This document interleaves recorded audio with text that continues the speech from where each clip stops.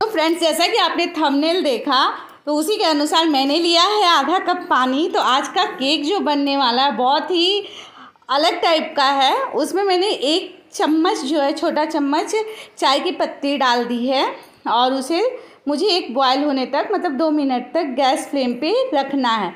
Means कि अभी तक कॉफ़ी वाला केक देखा था, लेकिन चाय वाला केक सही में आपने नहीं देखा होगा तो आज देख लीजिए ना।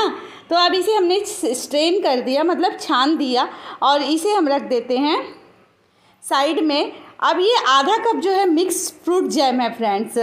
मतलब इस केक में जो हम, मुझे ऑर्डर आया था, उन्होंने बोला था कि चाय के साथ साथ जैम भी होना चाहिए।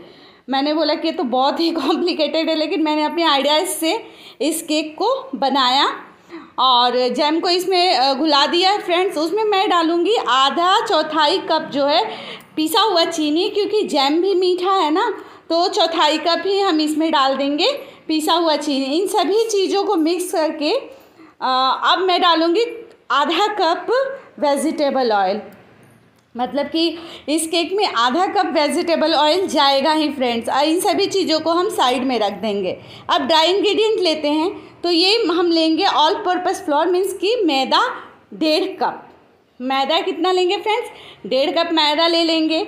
इसमें हम डालेंगे दो चम्मच मिल्क पाउडर यहाँ पे फ्रेंड्स एक चम्मच जो है, छोटा चम्मच बेकिंग पाउडर चौथाई चम्मच बेकिंग सोडा डाल देंगे।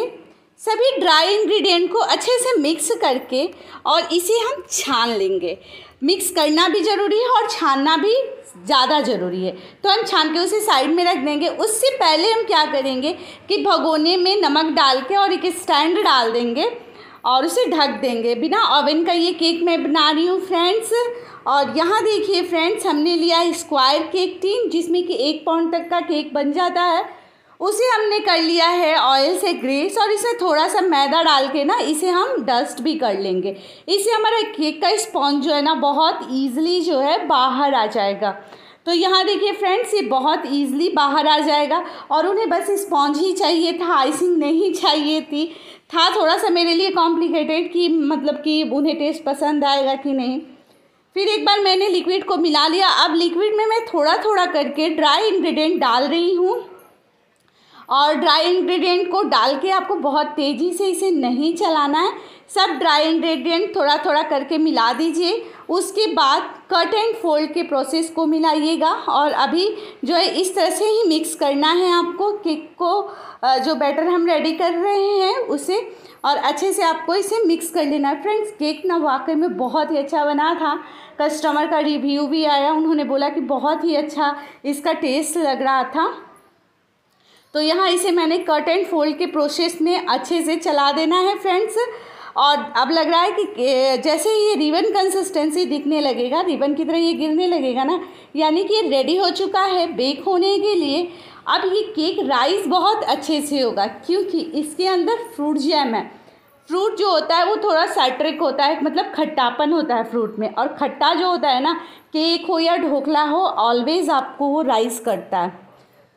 खट्टा से ही वो राइज होता है। तो ईज़िली हम क्या करेंगे कि बैटर को केक टीन में डाल देंगे और केक का एक है फ्रेंड्स कि इसका टिप्स ये है कि आप केक बनाने के कभी भी चार से पाँच घंटे के बाद ही केक खाएँ। यदि आपको जैसे कि कल केक खाना है ना तो आज रात को बेक करें। उससे उसका टेस्ट बिल्कुल अलग होता है, नहीं तो टेस्ट में थोड़ा सा डिफरेंस हो जाता है। शुरू के पाँच मिनट बस मीडियम फ्लेम पे और कितना बढ़िया राइस हुआ है ना फ्रेंड्स, पाँच मिनट में ही है। और उसके बाद आपको लो फ्लेम पे 20 से 25 मिनट तक या फिर जब तक वो अच्छे से पक ना जाए, तब तक बेक करना है। देख रहे हैं ना फ्रेंड्स, कितना अच्छा राइस हुआ है। अब ये मैंने टूथपिक लगा के चेक कर लिया तो अभी ये रेडी नहीं है। तो थोड़ी देर मैं और इसे पाँच मिनट लो फ्लेम पर पकाती हूँ। और उसके बाद चेक करती हूँ तो यहाँ टूथ पिक एकदम क्लीन आ रहा है, यानी कि केक हो चुका है। बस इसे मैं निकालूँगी बाहर, और इसके बाद भी एक टिप्स है, जो कि मैंने बोला था कि बताऊँगी। कभी भी आप केक बनाएँ मतलब फ्रूट केक या बेस तो बटर ज़रूर उस पर स्प्रेड करते इससे बहुत ही अच्छा मॉइस्ट रहता है। ब्राउनी फ्रूट केक बनाने से ऐसा ज़रूर करना चाहिए। वीडियो पसंद आई हो तो लाइक करना, चैनल पे पहली बार है तो सब्सक्राइब कर लेना। तो मैंने इस तरह की दो केक बनाए थे।